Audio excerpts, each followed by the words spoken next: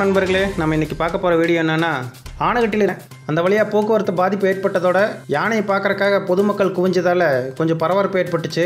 தகவல் அறிஞ்சு அங்கே வந்த வனத்துறையினர் வந்து யானையை காட்டுக்குள்ளே விரட்டும் பணியில் ஈடுபட்டாங்க. காட்டுக்குள்ளேயே யானைகளுக்கான தண்ணி வசதி ஏற்படுத்தி தரணும்னு அங்கிருந்த பொதுமக்கள்லாம் வேண்டுகோள் விடுத்தாங்க. வாங்க அந்த வீடியோ போய் பார்ப்போம்.